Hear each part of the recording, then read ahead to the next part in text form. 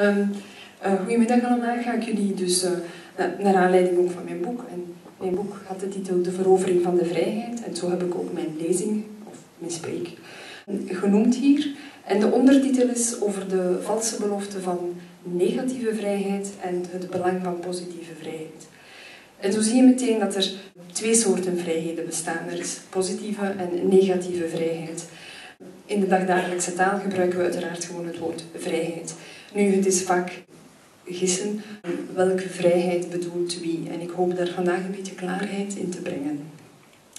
Nu, vertellen over mijn uh, persoonlijk verhaal als ik uit, uh, dat ik uit Polen ben gekomen. Dat staat in het boek.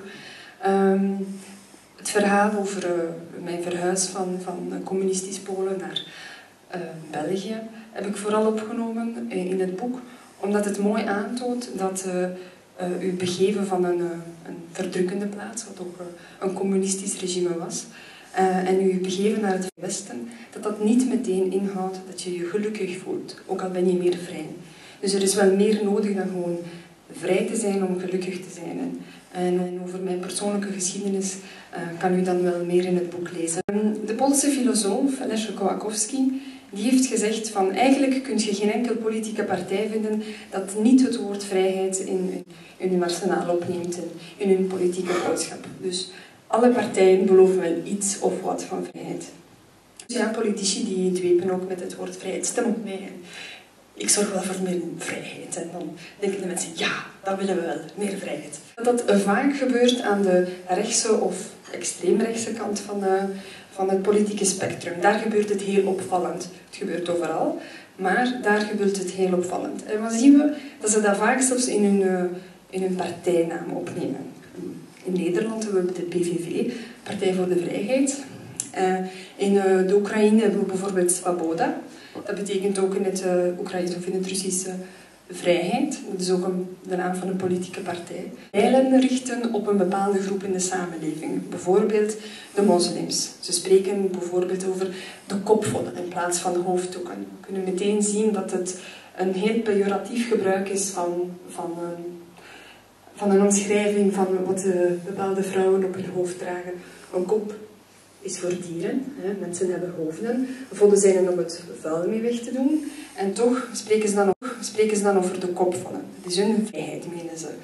En dan hebben we het Vlaams Belang. Dat is trouwens uh, de vrouw, de halfnaakte vrouw die u op de foto ziet, is uh, de dochter van Philippe de Winter, dat een kopstuk is van uh, Vlaams Belang. En dat was de campagne voor hun verkiezingen.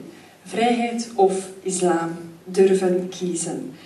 En wat we dus meteen zien, is, ze zeggen, kijk, we beloven nu de vrijheid als we de islam gaan, gaan uh, bannen. Dus uh, het zegt meteen dat onder de islam vrijheid onmogelijk is. Dat is ten eerste discutabel. Um, blijkbaar is dat onze westerse vrijheid om een soort, hoe moet ik zeggen, um, het, het tegendeel van een verdrukkende islam is blijkbaar de pornificatie van onze westerse maatschappij. Daarover heb ik ook trouwens een hoofdstuk geschreven in het boek over pornificatie van de maatschappij. Naar de, naar de filosofie gaan, of als we allemaal nu even naar de filosofie gaan, kunnen we zien dat er twee definities kunnen gegeven worden van vrijheid. Positieve en negatieve vrijheid. En die definitie is eigenlijk populair geworden door Isaiah Berlin, de man die je op de foto afgebeeld ziet staan. En die heeft in 1957 een essay geschreven, Two Concepts of Liberty. En daarin legt hij dus het verschil uit. Waar komt het eigenlijk op neer? Het verschil tussen negatieve en positieve vrijheid. Dus onder negatieve vrijheid, dat is eigenlijk heel gemakkelijk om uit te leggen. Vrijheid in de negatieve zin is een vrijheid zonder grenzen, zonder restricties, zonder bepalingen. Het is meestal de vrijheid die we dagdagelijks ook uh, zo zouden verwoorden. Wat is vrij? Ah, niemand staat u in de weg, je mag doen wat je wilt, uh, niemand gaat u zeggen wat je gaat doen uh, en je voelt je in die manier vrij, niet beperkt, niks opgelegd. En dat is de negatieve vrijheid. En de neoliberale maatschappij. Nu, we leven inderdaad meer en meer in een neoliberale maatschappij. wat is, wat is er typisch aan een neoliberale maatschappij? Dat je doet en laat wat je wilt. En dat is meestal aan degenen die het kunnen. Dus aan de machtige kunnen steeds meer doen dan laten wat er wilt. Dus neoliberalen nemen het ook op voor de negatieve vrijheid. Die zijn niet bekommerd om, om anderen. En uh, dat is eigenlijk een uitwas van de, van de negatieve vrijheid. Ik hoop dat dat is eigenlijk waar de, als we naar de negatieve vrijheid kijken, dat is wat de negatieve vrijheid doet. Iedereen is even vrij om dat examen te nemen. Niemand wordt verboden om in die boom te kruipen. Dat je het niet kunt, dat is weg. En dat is het geluk van sommigen. Want zoals ik zei, het is de formele vrijheid. Dus uh, denk maar aan de cartoon. Die aap was wel degelijk gelukkig, denk ik, in dat scenario. Want die wist van, uh, ik ga hier uh, de competitie winnen. En in onze samenleving zijn er natuurlijk mensen, in die zin apen, dat ze apen zijn, dat ze wel weten van, ah, met die negatieve vrijheid volstaat dat ik, ik, ik ga het wel halen. Maar dat volstaat niet voor iedereen. Dus vandaar dat we een, een politiek van positieve vrijheid moeten voeren. En dan pas kunnen we echt een vrijere samenleving hebben. En dan gaat vrijheid niet een dode letter voor al die andere mensen zijn, of in het voorbeeld naar al die andere uh, dieren. Maar hoe doe je dat concreet? Hoe doe je dat iedereen echt gebruik kan maken van vrijheden in onze samenleving? Dan moet je vrijheid dus concretiseren. En dan moet je kijken naar de vermogens. Dat mensen kunnen hun vermogens ontwikkelen. En dat gaat door een persoonlijke ontwikkeling, maar ook de maatschappij heeft daar een cruciale rol in te spelen.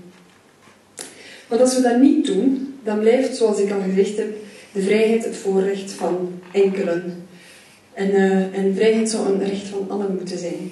Ook onze neoliberale maatschappij is eigenlijk een, een maatschappij die heel goed uitkomt voor de sterken. En de sterken zullen natuurlijk altijd pleiten voor, voor ja, meer negatieve vrijheden. En dan komt het goed, omdat zij degene zijn die er uiteraard van maken. Maar de politiek en wij allen zouden moeten uh, investeren in, in onderwijs. Moeten we daar wel waakzaam voor zijn dat we uh, de politici kiezen of dat we maatregelen nemen die ook investeren in positieve vrijheid en niet in negatieve vrijheid. Gaan na 20 jaar zien bij beide kinderen, ze zijn allebei 20 geworden, welk kind gaat echt een beslissing kunnen maken wat ook met mijn leven. Het, het, eh, het goed opgevoed kind, of die dan heel veel restrictie, uh, uh, grenzen had opgelegd en van alles moest doen, gaat misschien zeggen, ah nee, ik ga conservatorium doen, ik ga piano studeren, of nee, ik ga toch talen doen, of nee, ik ga toch een wereldreis maken. Het andere kind gaat blablabla. Als je niet hebt leren spreken, niet hebt leren doen. Dus om in een situatie te zitten waar dat je, dat je echt het gevoel hebt dat je echt vrijheden hebt. Dat je kunt zeggen van ga ik nu in Spaans lezen of ga ik nu gedichten in het Frans lezen. Dan moet je wel even die talen geleerd hebben om over een bepaalde vrijheid te genieten. Um, maar het is natuurlijk, het is zo dat, dat, uh, dat we als mens het gevoel willen hebben om zoveel mogelijk mogelijkheden te kunnen gebruik maken. Maar juist als we dat gevoel willen hebben voor ons en naar anderen toe willen schenken, dan is het juist heel belangrijk om, om te investeren in, in vermogens te ontwikkelen. En dan moeten we het belang van grenzen en, en bepalingen inzien. Want het is pas binnen een structuur, binnen grenzen, dat je een soort vrijheid en een vrijheidsgevoel kunt echt ervaren.